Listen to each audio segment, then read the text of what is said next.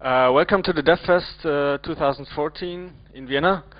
Um, I hope you're fresh and awake. And uh, first uh, presentation will be from Floor Drees about document-driven development.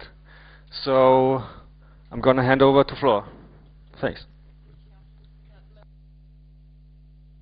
Get some strange. Ah, it works. Awesome. All right. Uh, thank you for joining me for this first slot of the day and then on documentation writing, which is not necessarily uh, a developer darling, I would say. So I'm very curious, who of you is the developer? Okay. Designer? Okay. Technical writer? Documentation writer? Awesome. Okay, that's good. Um, anyway, you made the right decision because, I mean, data analysis with Spark, nobody really wants this. Um, since I proposed my talk, uh, I changed my talk a little bit, so it's not necessarily on documentation writing, but more about README-driven development. Um, and READMEs have been with us for quite a long time, and even this term has already been coined by ex-GitHub CEO Tom Preston-Werner. Uh, Preston Werner, sorry.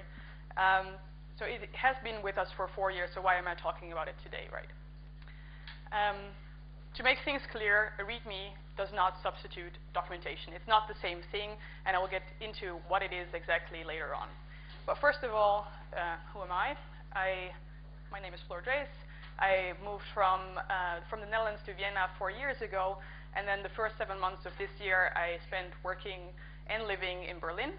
Uh, before I moved back uh, in July for to take over Sector 5 co-working spaces in the 5th District as its managing director, and for obvious other reasons. Um, I started to learn more about coding two and a half years ago. Uh, since then, I've organized four Rails Girls workshops, and I've coached, a lot more of them all throughout, throughout Europe. Um, I organize um, workshops on HTML, CSS, Ruby, and Python. Um, and I'm the, one of the core team members behind Rails Girls Summer of Code. Who of you knows Rails Girls Summer of Code? Has ever heard of it? It's a really great program that uh, helps Rails Girls students, um, like uh, Rails Girls alumni, to get into open source. Um, they get to spend three months of their summer working on open source projects and get paid for this. Um, so this year we could support 10 teams uh, financially and then six teams uh, joined voluntarily. If you want to know more about Rails Girls Summer of Code, I can talk about this for hours, so catch me later. Um, I'm also the co-founder of the Vienna, Vienna RB, the Ruby user group in Vienna, and I've organized two conferences in Austria about web development. Why this is important, uh, I just want to show you that early on, even when I, when I was still learning, um, I was very interested in teaching other people and to create platforms for knowledge, ex uh, exchange when it comes to programming concepts. Um, and I found it very, very important that whenever I have a student that I'm only one or two levels above their level, um, because then if I've just you know come to grasp some sort of co programming concept, it was so much easier to explain them how something works. Uh, I find that, that a lot of my fellow coaches who have been programming maybe since they were 12 uh, have a lot of difficulties leveling down their lingo and trying to come up with examples that actually make sense to their students. But back to the topic. Um, I've been working as a technical documentation writer for quite some time um, and also at my last job. And uh, I think that my interest for README-driven development and documentation writing uh, has to, a lot to do with that.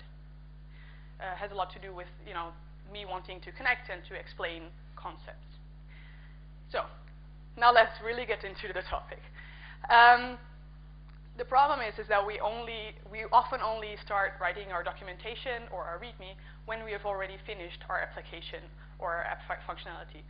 And Instead, if you start with writing down the requirements and uh, potential use cases, the whole documentation writing moves away from being something that is very painful and sort of last minute um, into something that can be a vital part of developing your project.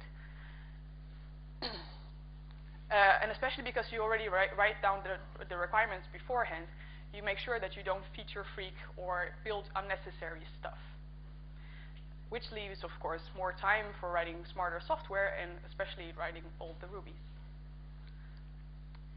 Um, a problem that I find with a lot of popular development um, approaches is that there's very little time for design. Um, whereas I think that in development, design and development should be somehow on the same level. Um, and oftentimes in the more agile approaches, design is absolutely not a topic, uh, which leads to a lot of projects that are sloppy and fastly made and have no or very little documentation. And I think that RDD brings back this design element, luckily. Um, so whenever I talk about READMEs or, or, documentation, people ask me about how this sort of relates to uh, using BDD as in behavior-driven development or business-driven development. I think that if you're if you start writing with your document your documentation early on, you're very honest about you know what your project is going to be about, and it's crystal clear to you and all of the stakeholders what your project will be about, what it solves, and what the use cases are. Um, so in that case, it does fit very well into BDD. As for instance, when you're using Cucumber, of course, I, I, I'm not allowed to use any code slides because I wanted to you know show you some Ruby, and the organizer said no. So it should be sort of all languages. But if you write down your requirements in uh, and your specs in, in Cucumber, it's already quite easy to read, right? It's plain English, basically. Um, and um, RDD should be really considered as a sort of a light version of documentation-driven development. Um, I think that documentation-driven development can be very verbose. I mean, you, you often write way too much. Um, and a README should be considered as an introduction to your code uh, rather than a whole documentation. Um, much like when you write your first test, um, when you start with writing a README, as said, you're very clear about what what your project is going to do and how it's going to solve a problem. So you can detect complexity early on in the process. Um, I remember when I write, wrote my first automated test, um, that is that I caught errors that otherwise would have slipped into my code, but I could catch them early on just by writing a test. Writing a README is somehow like that.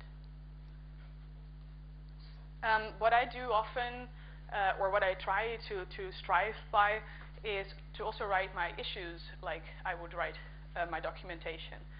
The, the great thing about this is that you are really clear about whatever bug you're trying to report or a feature that you wa want to suggest.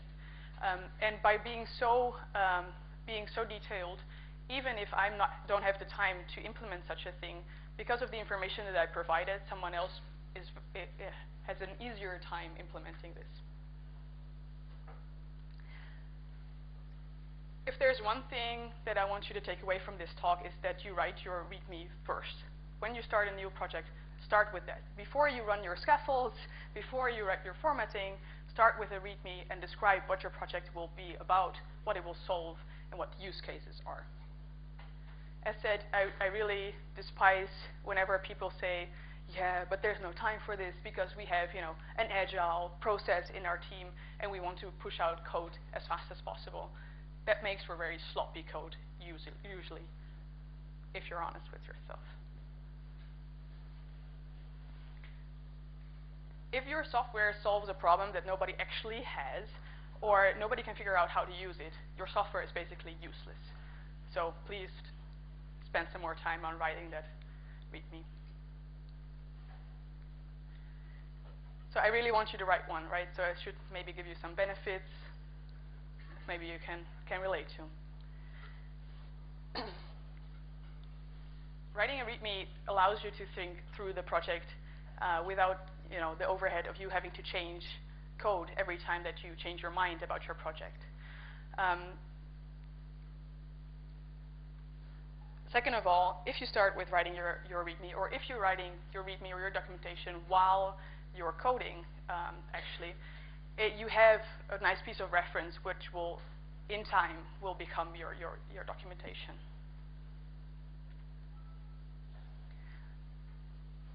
Free pro tip. Um, I keep my README open at all times whenever I'm, I'm, I'm, working on a project as one of the very few files.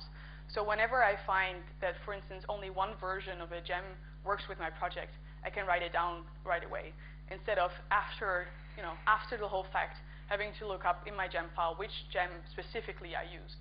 and doing this for all, all parts of the, of the application.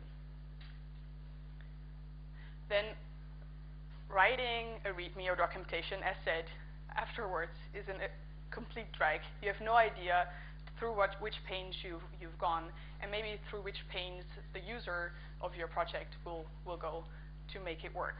Um, it takes a lot of time, and usually when you start a project, you're all fresh and you know excited about this, and it's way easier to write uh, what your your program is doing than afterwards. Slightly related, when you already have your README, your coworkers can start working on, on applications or pieces of code that interact with your project uh, without you having uh, already read or uh, wrote a single line of code. Um, with the bonus feature is that no team is sit just sitting there being pretty. Um, the, the, client team can already start uh, working on code that interacts with yours before the, the server team has even you know, started to write something and then you have a lot less time spent on you know merging your projects together or finding some adaptation so that it works together. We're all human beings, and communication is a really, really difficult thing um, in all in all senses, and also uh, oftentimes related to language. If you have something written down, it's way easier to discuss about your project than when you would have to explain every tiny little bit over and over again to every one of your stakeholders.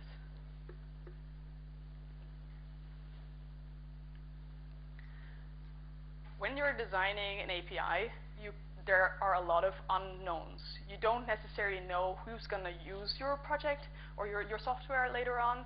You don't know how exactly they will use it, what the specific value of your software will be how their, their flow through your API will be. So it's very smart to, to write this README first and have a high-level overview of what your project is about, what your software is about. It also helps you to gather feedback early on uh, on your project and then all throughout the project. And then, I mean, it's Markdown. It's not like it's a whole new language. So it's not that difficult, right? a personal favorite, um, whoever is using GitHub knows this. Um, your README is just there along with you know your version code, um, so people can get it straight into the project right away. And of course, it's totally open source compatible because you could write in your your README, and it's very you know recommended um, how people can report issues. Uh, should they go to the, the GitHub issues, or do you have a mailing list where you want to collect your problems over? Uh, plus, you can also write um, how you want people to collaborate on your project.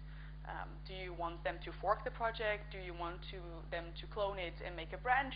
And if so, what is the naming convention for this branch? Very easy to write this down.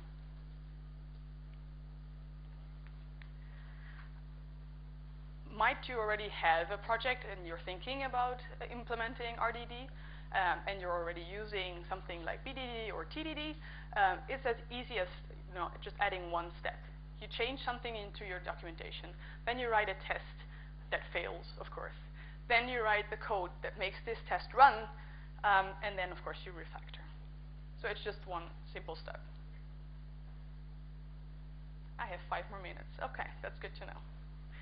Um, well, I think it's smart to make it a required first step so that everyone is on the same page and every, every team member does exactly the same. Um, and then uh, also include your documentation writing in your already, if you already have a workflow of code reviews, which I really hope you have, then also include this as part of your code reviews.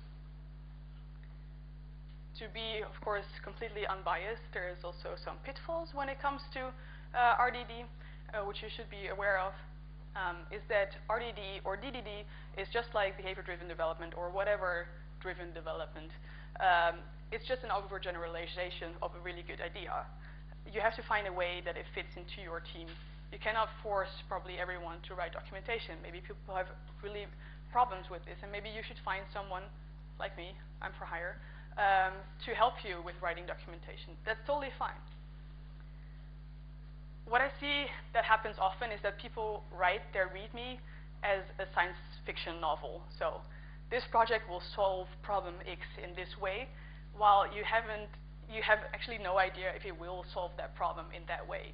Um, make sure that you're very honest in your README, because chances are is that you're going to abandon this, this project and it's going to lie somewhere in GitHub, and you know, someone's going to touch it, and they read the README first, and they're very, very sad to figure out that you know it's not really what it's promised.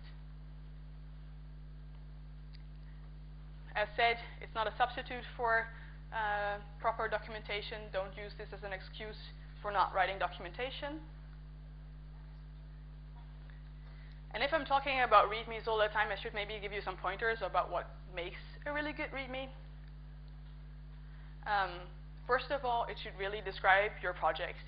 Um, in, and as a starting line, for instance, if you wrote a gem uh, to include Bitcoin payments in your Rails application, it should say gem to implement Bitcoin in your Rails application, and then a small introduction. Make sure that it sticks a little bit. Don't make this too long. It should be really short. Then chances are that is that uh, whoever is viewing your project will view this in a browser, so make sure that it's compatible as such. So it has some subtitles, uh, and it has some, some syntax highlighting whenever you provide code samples. And about those code samples, developers love code samples. So if you have any uh, examples of how your project inter or interacts with some kind of library um, or with a popular project, then make sure that you show this.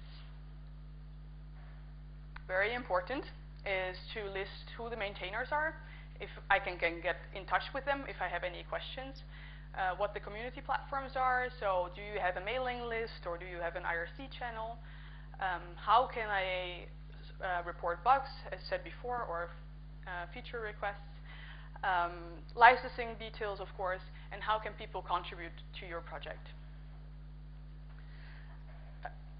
Also mentioned before, it's very, very important to be honest about your project.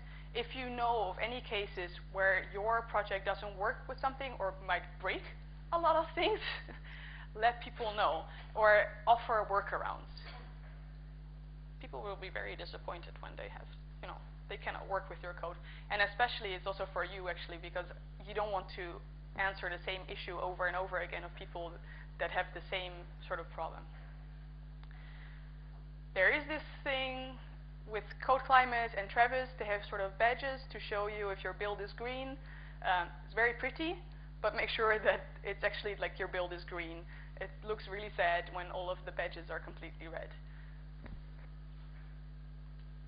If you're interested, there's two more two articles that you should definitely check out. I will tweet them later so you don't have to write it down. The first is uh, the first article in which Tom uh, explains what README-driven development in his mind is. And then the second is from a company who actually implemented RDD uh, and shows you what their, what their pitfalls and their benefits were. Thank you. I made it in time!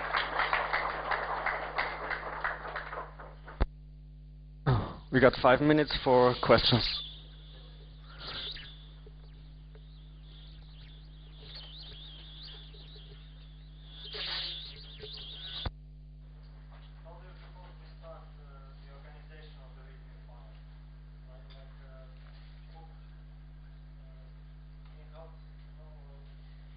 Okay, so how how should it be sort of formatted? Like what's first? So what's what's first of, of course like really make make sure that you make use of the formatting so that you know you really have your your top priority up uh, completely up. Start with an introduction. What does your your uh, application software whatever what does it solve? What is the intended use case? Um, uh, document the installation process and uh, give some example uses of of your code.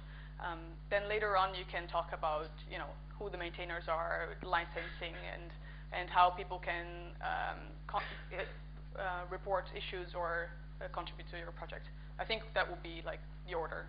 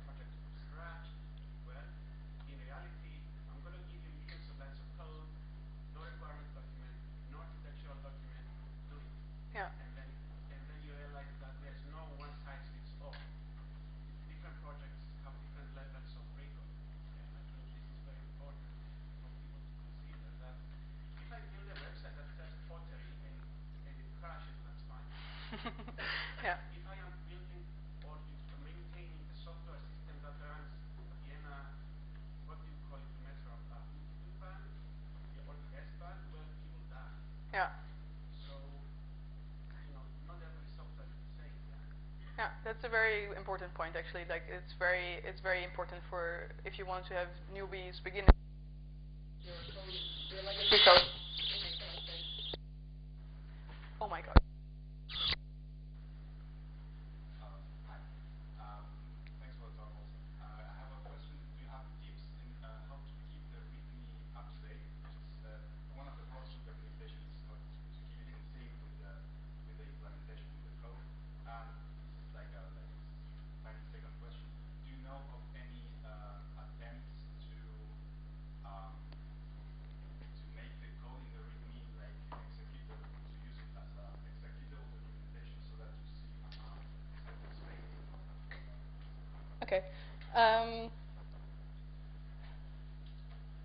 first of all, to keep it up to date, uh, I usually have my README open all the time so I can just add to it whenever I, I see any complexity or anything that, um, that changes whatever I've stated before. Uh, so whenever I figure out that, you know, I, I, think it will work this way and it will not work this way, I will change that directly. So that's maybe easy to always keep that one open.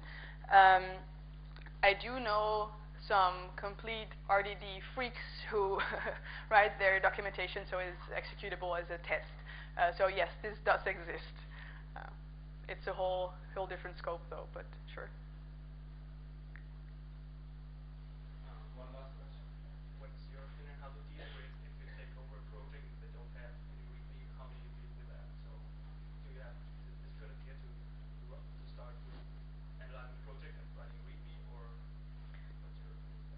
You're a good team member, I think that would be very smart, not only for yourself, but also for people that will come to the project in, in future times, because it's, it's an absolute drag when you get presented some legacy code uh, and you have no idea how to work with it. Uh, better fix it yourself than have other